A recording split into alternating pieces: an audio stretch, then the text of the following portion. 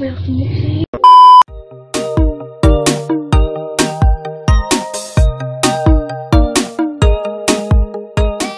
Assalamualaikum warahmatullahi wabarakatuh. Balik lagi ke channel aku, Ais Listi. Kali ini aku bakalan bikin video versus.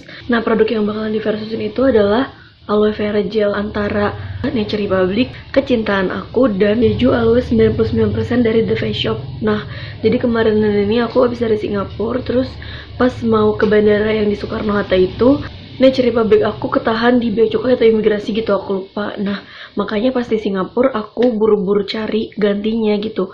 Kebetulan pas di Duty Free yang di airport itu aku cuma tertarik sama The Face Shop ini. Karena dia di sini tuh bacaannya 99% dan kebetulan kalau misalnya di Bandung muka aku bener-bener kering kan. Jadi kalau di Jakarta muka aku kombinasi ke berminyak. Cuma kalau lagi di Bandung kombina- kombinasi ke kering.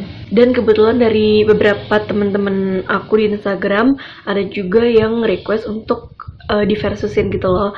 Antara di si The Face Shop ini yang 99% sama uh, Nature Republic yang 92% daripada lama-lama pertama kita bakalan bahas adalah packaging.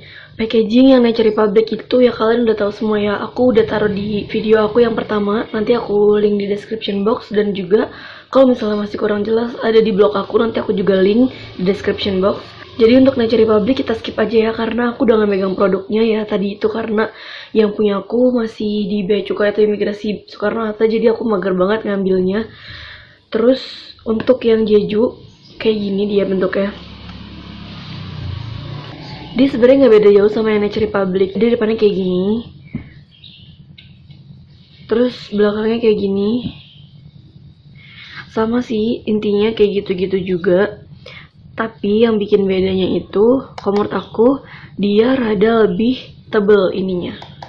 Lebih tebel. Terus dia datang bersama plastik yang ada di sini nih nempel. Yang buat pembatas gitu loh biar dia nggak langsung ketutupnya gitu produknya. Which is enak banget cuma kadang-kadang si pembatasnya itu masih nempel di tutupnya sih jadi sama aja. Nah untuk wanginya kalau yang Nature Republic itu wanginya uh, kan aku udah ada reviewnya gitu ya di blog aku. Nanti aku taruh di description box linknya biar kalian lihat uh, reviewnya kayak gimana wanginya dan segala macem. Nature Republic itu wanginya bener-bener hampir mirip sih sama dia. Beda dikit mungkin karena dia 99% dan itu 92% dan mungkin juga dari alkoholnya karena dia juga ada alkoholnya ya. Jadi untuk kalian yang gak cocok pakai Nature Republic karena alkohol. Mungkin kalian juga kurang suka sama produk ini karena dia juga masih mengandung alkohol. Selanjutnya kita yang bakalan kita bahas itu adalah harga. Kalau misalnya ini aku nggak tahu di Indonesia berapa. Cuma yang aku tahu di Singapura yang kemarin aku beli di, di Duty Free yang di airportnya itu cuma 53.000 dan aku beli ini di airport. Jadi bayangin kalau misalnya ini aja buk ini aja di airport 53.000 gimana ini di luar airport gitu? Pasti kan ada pajak dan segala macamnya kan. Sedangkan kalau Nature Republic di Indonesia yang aku temuin itu di biasanya di atas 100 ribu. Cuma pas kemarin di Duty Free brand Nature Republic itu nggak ada.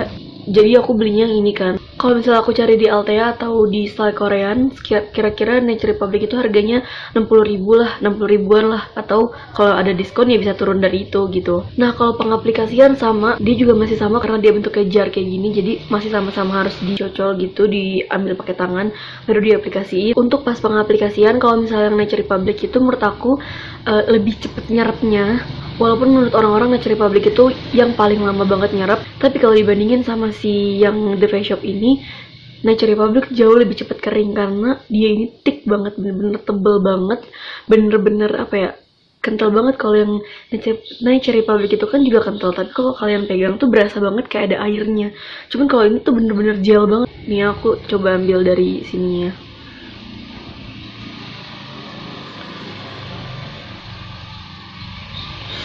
Nah, dia tuh kayak gini. Oke. Okay. Kalau diaplikasiin tuh kayak gini. Tuh, bener-bener gel banget. Dan keringnya tuh lama. Bener-bener lama banget karena dia tuh tebel. Beda sama Nature Republic yang kayaknya tuh tipis dan banyakkan air jadi lebih cepet kering. Nah, makanya pas aku pakai ini di Jakarta, aku tuh ngerasa ini tuh terlalu lembab buat aku.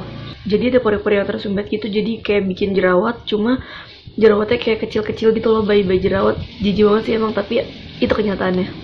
Nah kalau pertanyaan bisa gak sih aloe vera ini tuh dijadiin base buat makeup?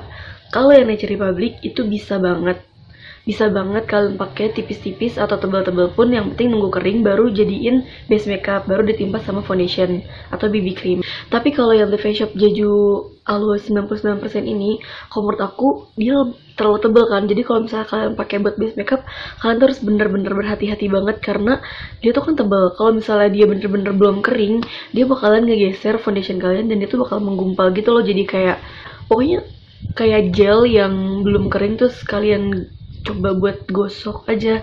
Dia bakalan keluar kayak sari-sarinya gitu. Jadi masih banget kelihatan tebel ini kalau misalnya buat base makeup. Padahal dia teki banget loh rasanya dibanding Nature Republic. Tapi dia lebih tebel daripada Nature Republic. Jadi kalau misalnya dia bener-bener belum kering jangan sampai ditiban foundation atau BB cream dulu. Karena dia bakalan keluar gitu sari-sarinya. Nah kalau dia aku beberapa kali makeup itu ngerasa dia agak bikin makeup agak melt gitu agak melt. Kalau misalnya udah siang udah berminyak dia agak melt gitu. Tapi kalau misalnya Nature Republic mungkin karena dia tipis atau dia apa ya lebih cepet nyerap dia bener-bener aman banget buat makeup gitu. Apalagi aku kemarin coba pakai ini sama Maybelline Fit Me aku. Uh, Maybelline Fit Me itu melt juga. Padahal kalau misalnya aku pakai Nature Republic itu bener-bener makeup itu bagus banget. Jadi Maybelline Fit Me tuh bener-bener kelihatan banget poreless sama matte-nya gitu.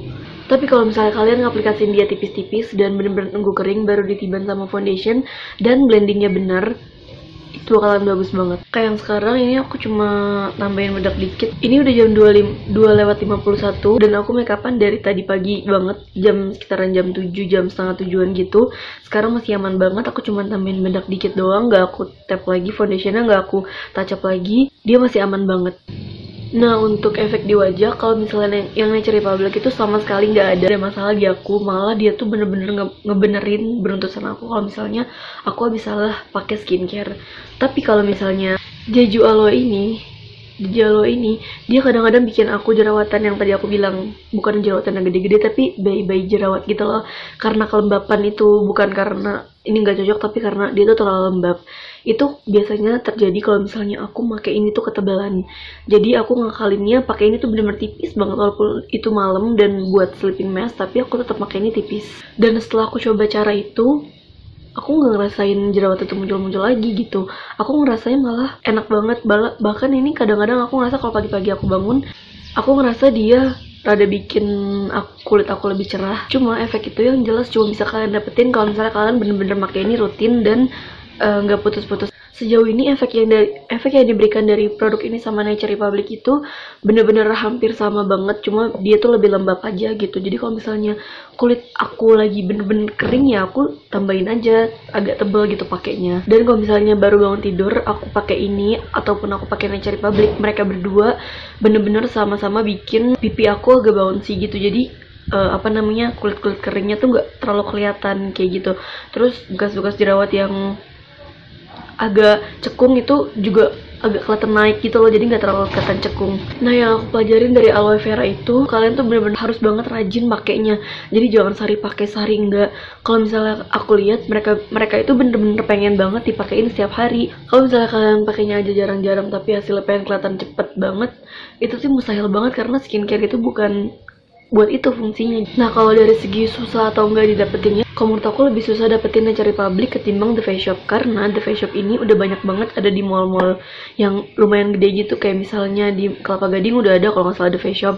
Terus mau Taman Anggrek juga kalau nggak salah udah ada. Pokoknya The Face Shop ini udah hampir kesebar gitu deh ketimbang cari publik. Tapi kalian jangan sedih, cari publik katanya bakalan ada di kota Casablanca bulan Januari ini dan kalau nggak salah udah ada juga deh di Mall Puri kalau nggak salah. Dari dua mall itu juga kita bisa lihat kota Casablanca ada di sebelah mana dan Mall Puri itu ada di sebelah mana. Jadi yang kira-kira de lebih dekat ke Mall Puri ya ke Mall Puri. Kalau misalnya lebih dekat ke kota Casablanca ya ke kota Casablanca. Tapi karena sekarang aku lagi kuliah di Bandung jadi aku berdoa banget semoga Nature Republic itu cepet-cepet buka di Bandung juga. Amin. Jadi kalau misalnya aku disuruh milih ini atau yang Nature Republic aku masih bakal tetap pilih Nature Republic dengan segala kekurangannya yang masalah susah didapat atau harga juga lebih mahal. Dia masih terlalu lembab buat aku hitungannya gitu. Cuma kalau Nature Republic itu bener-bener pas. Mau dipakai tipis mau dipakai tebal itu bener-bener pas banget gitu. Jadi kalau misalkan yang The Face Shop ini aku udah habis aku pasti bakalan beli lagi yang Nature Republic entah yang tube atau yang jar masih kayak gini. Karena Nature Republic itu menurut aku masih emang gak tergantikan. Yang perlu digarisbawahi ini tuh masih cocok di aku ya Bukan berarti kalau aku nggak beli dia lagi, aku nggak cocok sama dia. Aku cuma lebih suka ke Nature Republic ketimbang The Face Shop ini. Untuk efek calmnya, yang Nature Republic dapat banget efek calmingnya, yang ini juga masih dapat banget efek calmingnya. Jadi mereka bener-bener sama kalau untuk masalah calmingnya ya. Untuk masalah soothingnya juga masih sama banget.